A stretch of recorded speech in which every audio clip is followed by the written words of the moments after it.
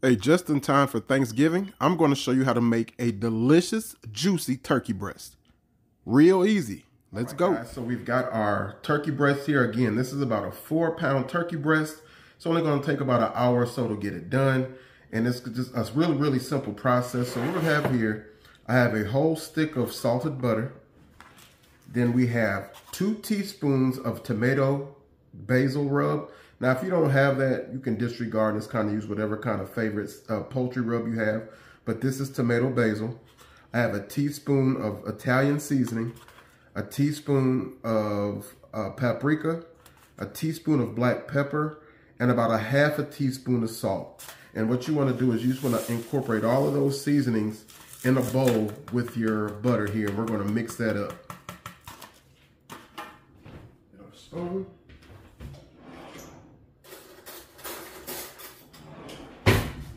And you just to incorporate all those seasonings into that butter. And we're just going to smear this butter all over this turkey breast and on the inside of that uh, skin there, remove that skin and get everything nice and coated. Simple process, just in time for Thanksgiving, especially for those that may not have big gatherings or it may just be you and your spouse or you and your small family, then that's all it's going to take. So let me get this together. All right, we've got our butter and seasoning mixtures mixed together. Now, if you need to, you want to have it room temperature and have that butter sitting out for a while to where it's pliable. If it's not as pliable as you like, you have to throw it in the microwave for five seconds or so. Go ahead and do that.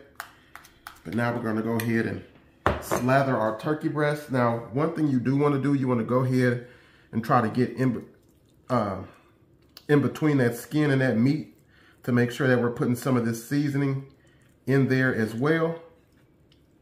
You can just take your fingers and just kind of run it in between the skin and the back there. There's a little touch of a membrane that kind of holds that skin on.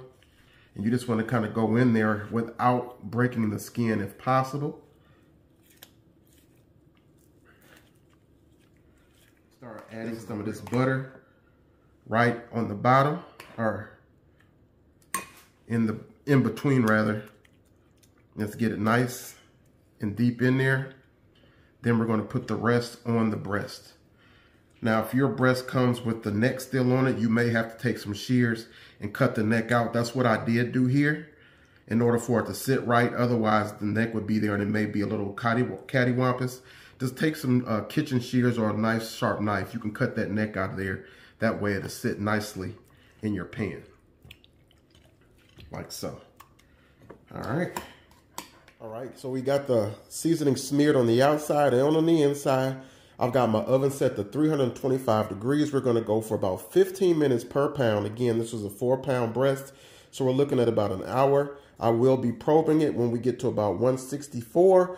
Uh, the, do carryover temp. You don't want to really overcook this thing. Now, uh, you know, turkey breast has a tendency to be dry, so you don't want to go too much higher than 165 at all pull it out, we'll wrap it, and then we'll go from there. Five. Look at that. Looks beautiful.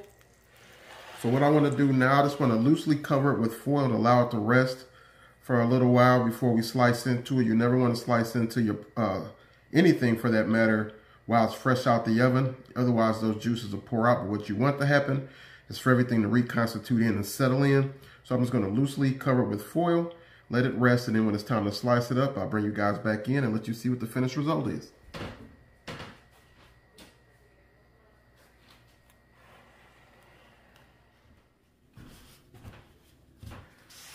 All right, guys, so let's go ahead on and get this turkey breast cut up. The way I've learned years ago and the way I've always do, it, done it, you just kind of go down the back or the breastplate here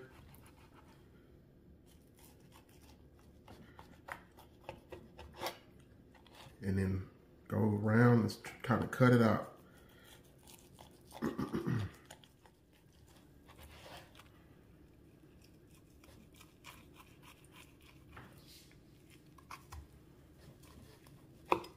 this was a smaller breast, but turned out well. Took just a little over an hour to get it completely done.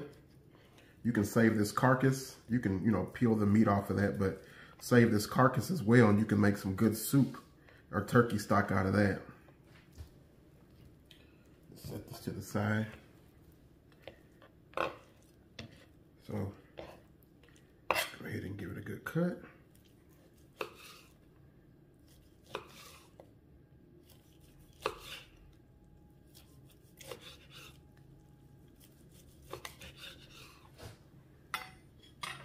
see nice and moist. You can see those juices in there. So cooked perfectly. Smells so good.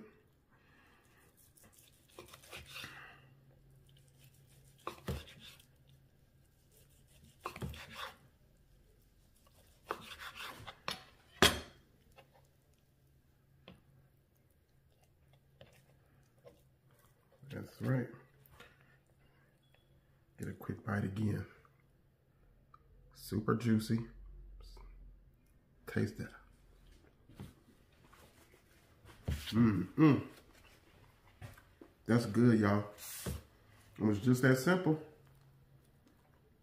Just that simple. Perfect for the holidays. If you're just a small family or whatnot, try it that way. Make the seasoning up, the garlic herb butter, smear it on there, let it go for a little over an hour, and it comes out perfect every single time. There it is.